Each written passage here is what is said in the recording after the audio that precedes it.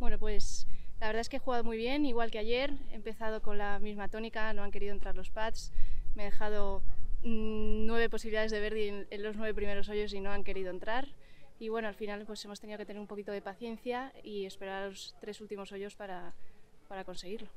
Pues sí, estaba en el tee, sabía que con menos una que llevaba total iba a estar la cosa un poco justa, así que no me quedaba más remedio que hacer otro para, para no sufrir. ¿no? Y bueno, al final, bajo presión, pues parece ser que funcionó bastante bien y, así ha pasado. ¿no? Efectivamente, ya mañana, ya mañana, ya que eh, he cogido la velocidad de los greens, yo creo que ya mañana voy a, voy a meter alguno más.